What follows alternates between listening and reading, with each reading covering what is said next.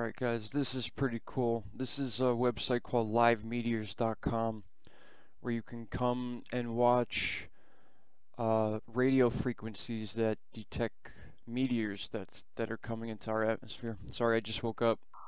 Not even a sip of coffee yet. But anyway, take a listen. This is pretty crazy.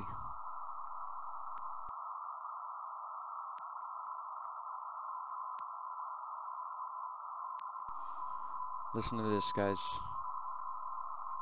This goes on for over a minute.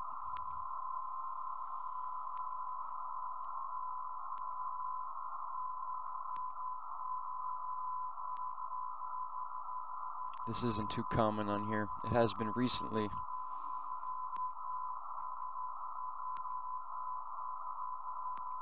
Look at that.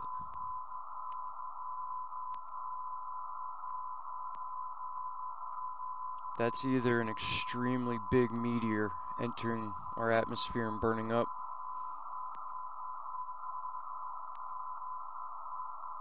Or I don't know what the hell it is.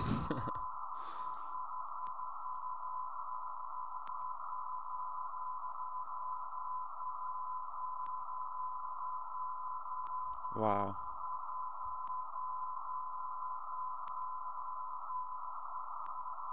Still going. And that's where it ends. Well over a minute. That's a normal one, what you just heard there. supposed to be short and sweet. Just like that, right there. That's how they're supposed to be. And the one we just listened to was over a minute. Now there's been a couple that lasted three minutes, five minutes, and one two nights ago that was close to nine minutes.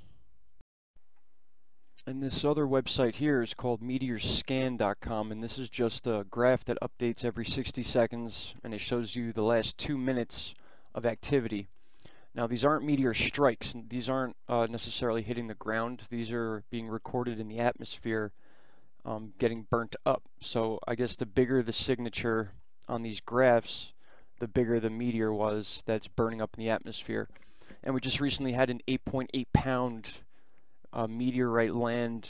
Oh man, I don't even want to say it if I don't know, but maybe India, something like that. Um, so those are the rare occurrences when they actually make it through. So when they're hitting the atmosphere, they're a lot bigger, but then they get burnt up before they hit the ground, if they even hit the ground.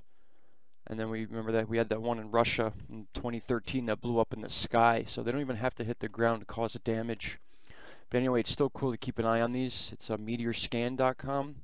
And then livemeteors.com is that live radio frequency you can listen to. And that's where we call it that weird thing. I still don't know what that is. But we will look into it. And I'll see you guys all real soon. Bye-bye.